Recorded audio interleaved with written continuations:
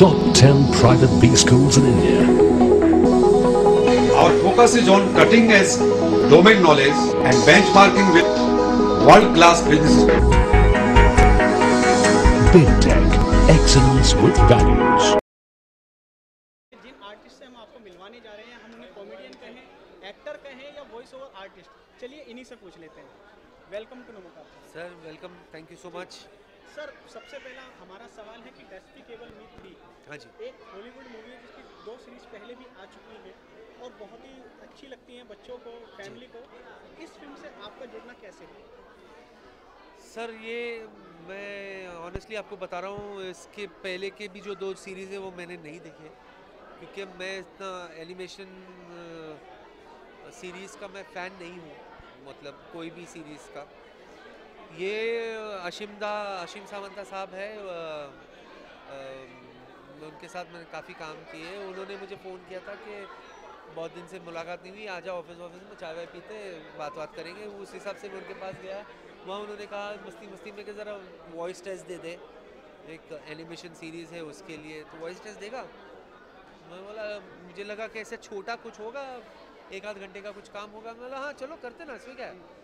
तो वो माइक वाइक लगा करके वो ग्रू के कैरेक्टर के लिए मैंने वो वॉइस टेस्ट किया, फिर मस्त, बड़े शाने हैं वो भी। हँसते हँसते मुझे बाद में कहते कि ये दूसरे वाले का भी तू दे दे ज़रा सा। दोनों का क्या साथ में सीन्स रहता है ना तो जल्दी हो जाएगा। तो वो भी दे दिया। ये सोच के मैंने किया कि भाई डेफिनेटली रिजेक्ट होने वाला हूँ मैं। पर ऐसा नहीं हुआ।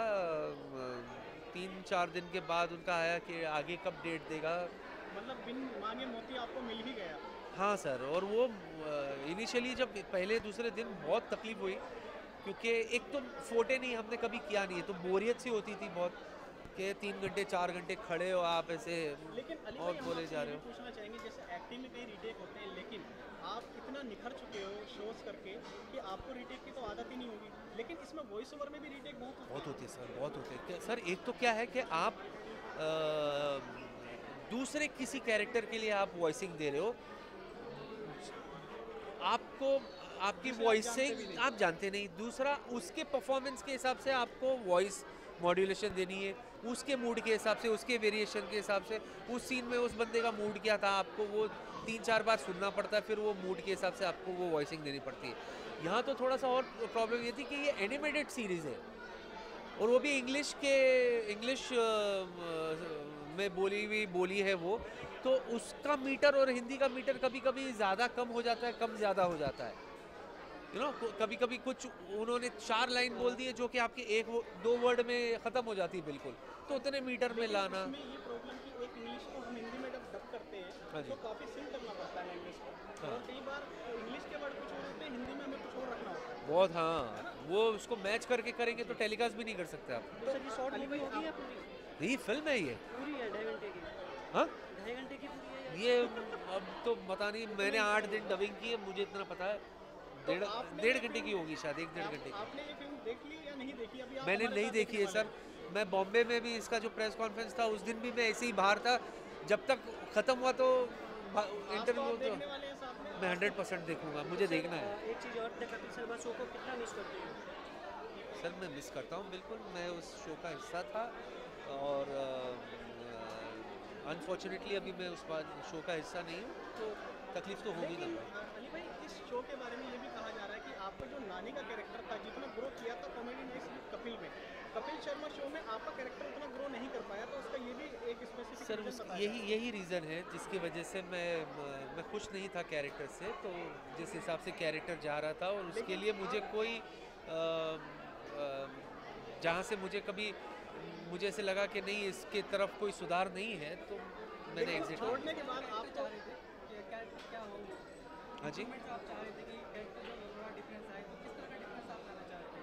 क्या आप चाह रहे थे कि अब मुझे दादी नहीं बनना है या फिर कोई और कैरेक्टर प्ले करना है? नहीं वो सब इंटरनल बात है सर वो इतनी मैं फ्रैंकली ये बहुत ही पर्सनल बात है इसको हम सब साथ में थे इसके बारे में अब बात करके कोई फ़ायदा नहीं है। हम जितना लोग हमें शो पे मिस कर रहे हैं उतना ही हम इस शो को मिस करते हैं फ्रैंकली तो और अभी इसको हम यहाँ इसके लिए आए डेस्पिकेबल बस आप ट्यूबलाइट के बारे में और बताइए। सलमान भाई के साथ आपने इतना अच्छा काम आप पहले भी कर चुके हैं। इस बार क्या नया? दर्शकों को देखने को मिलने वाला है। सर थोड़े नए नए कैरेक्टर्स है उसमें।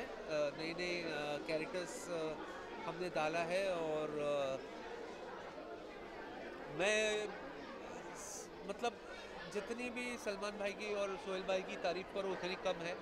जो जितने वो कॉपरेट जिस तरह से उन्होंने हमें कॉपरेट किया है शो के लिए, जिस तरह से वो अपने आप को सरेंडर कर देते हैं हमारे, कहते हैं ना परफॉर्मेंस में, वो आप उन मतलब they allow us to you know उनके साथ मस्ती करो एंड वो एंजॉय करते हैं। सलमान भाई के बारे में ये भी कहा जाता है कि वो जब कोई कैरेक्टर प्ले करते हैं या आपके साथ होते हैं तो वो कभी ये महसूस ही नहीं होने देते कि वो सुपरस्टार हैं या वो किसके साथ कर रहे हैं। वो उनका बड़ापन है वही तो मैं कह रहा हूँ कि हेड्स ऑफ़ टू हिम वो हम सोच भी नहीं सकते कि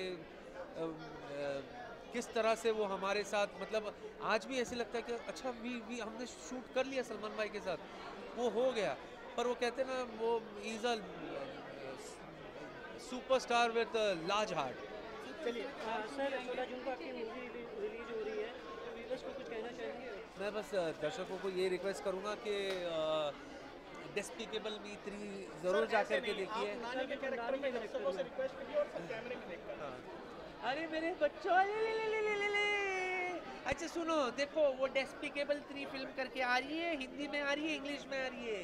इंग्लिश में देखना है तो देखो लेकिन हिंदी में ज़रूर देखना क्योंकि उसमें जो गुरु टकला और ड्रू जिसकी लंबी नाक है बुरे बाल वाले उसकी आवाज़ जो है ना उनको डब अली असगर ने किया है। बड़ी मेहनत के साथ किया है बड़े मज़े ले लेकर किया है। और उसको देखने के बाद तुम्हें भी बड़ा मज़ा आएगा। ज़रूर देखना डेस्टिंग एपल मी थ्री ओके थैंक यू